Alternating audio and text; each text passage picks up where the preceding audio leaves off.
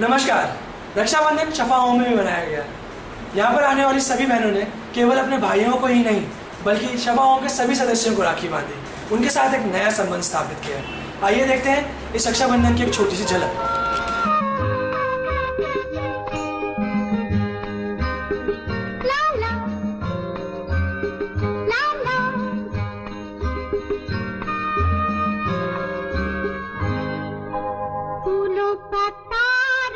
सबका कहना है, एक हज़ार में मेरी बहना है।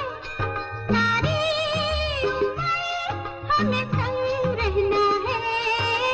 फूलों का तारों का सबका कहना है, एक हज़ार में मेरी बहना है। सारी हमें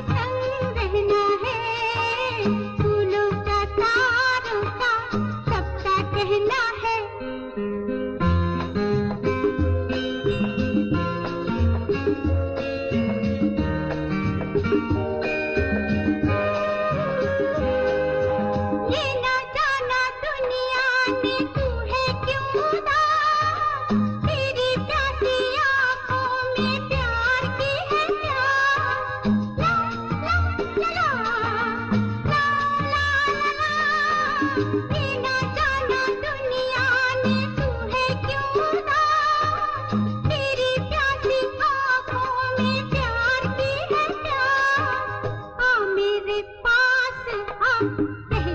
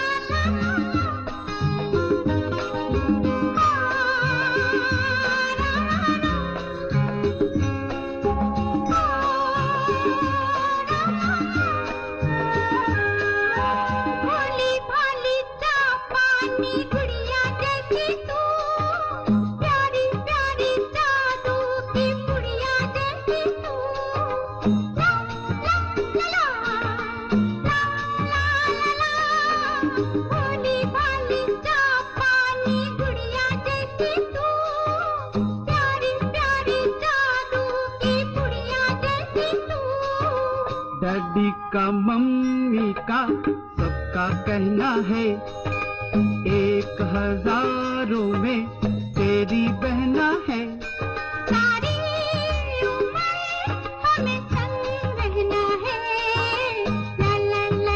उम्मीद करता हूँ आप सभी को ये वीडियोस पसंद आई होगी और आप ये समझे होंगे कि हम इन वीडियोस के द्वारा आपको क्या दिखाना, क्या समझाना चाहते हैं।